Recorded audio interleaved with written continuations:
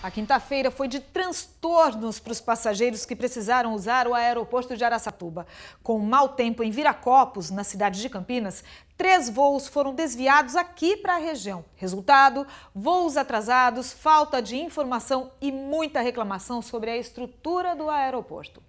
No aeroporto de Araçatuba, muita movimentação. Edmar aguarda o voo para Campinas, que está atrasado. Por conta disso, a viagem a trabalho já está comprometida. Eu estou vindo de Três Lagoas, né? Nós acordamos de manhã, quatro horas, né? Para poder pegar o voo aqui em Araçatuba, em função de um compromisso às 13 em Campinas, né?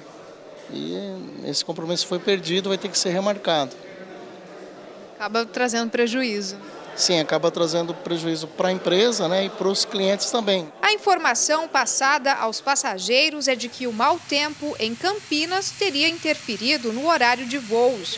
O aeroporto teve que ficar fechado por um período e três aviões da Azul tiveram a rota alternada, ou seja, eles pousariam lá, mas foram desviados para Araçatuba.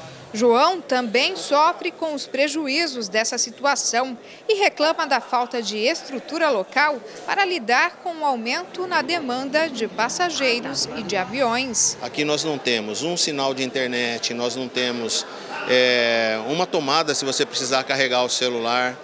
Enfim, qualquer uma loja de conveniência que você possa né, no momento que você se vê numa situação mais difícil, você ter um acesso a alguma coisa.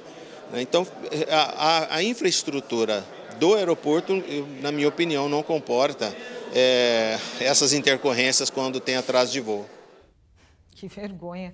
A Azul Linhas Aéreas disse que prestou toda a assistência aos passageiros prejudicados. Em relação às reclamações, o DAESP, o Departamento Aeroviário do Estado de São Paulo, disse apenas que o aeroporto de Araçatuba tem somente cinco tomadas no terminal sendo que só uma está no saguão.